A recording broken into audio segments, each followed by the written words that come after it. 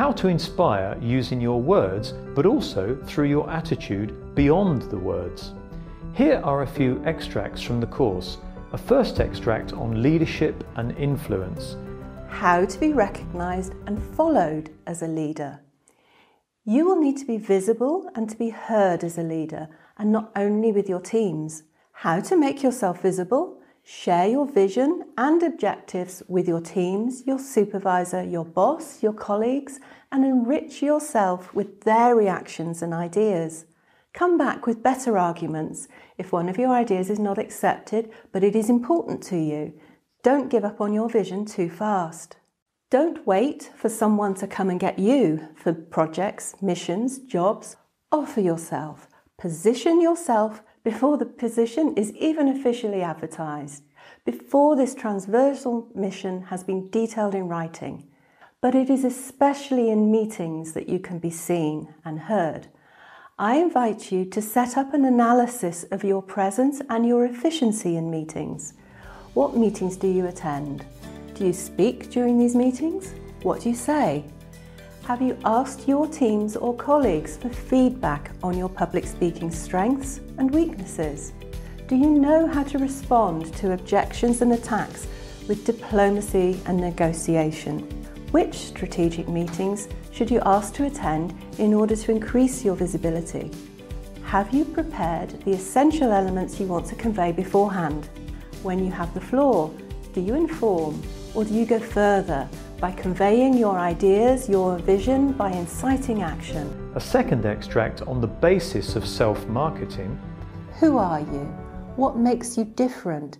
What's your added value, your uniqueness? Above all, a good job of self marketing helps you dare to be who you are and be confident in yourself. There can be no self marketing without good self esteem. Otherwise, it may be a job of makeup, retouching, covering up, and you will quickly be unmasked. If you have good self esteem, then you will know that you have enough talents to promote instead of trying to hide your flaws. When you are clear about your strengths and passions, you need to build your marketing strategy. What do I choose to reveal about myself? What do I choose to value starting tomorrow? And to whom? A third extract on convince and sell with the species model. How to convince with the species model. S for sympathy. With the environmental aspect that we have seen before, this is a criterion that can make the difference when our computer makes its list of proposed purchases. Sympathy is a secondary motivation, but it can tip buying. The emotional, the relational can change the buying criteria. We buy an apartment on a whim.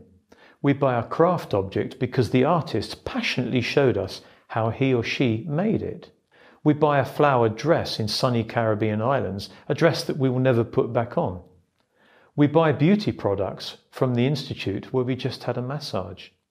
The positive emotion aroused by the product, the seller or brand removes barriers to buying, sometimes against pure logic. The attitude of the salesperson or speaker is therefore essential. It can either add oil to the cogs of conviction or make them creak. Conveying a smile, politeness, humour, listening, free advice can build a relationship of trust that can go as far as a form of friendship. We want to spend time with those who make us feel emotionally good. We want to talk to them and listen to them. The younger generations say they are very sensitive to the work environment. They will favour a company where relationships are positive, where they can have fun working together. Do you want to learn more about the subject? We are delighted to accompany you on the course Communicating and Inspiring. See you soon.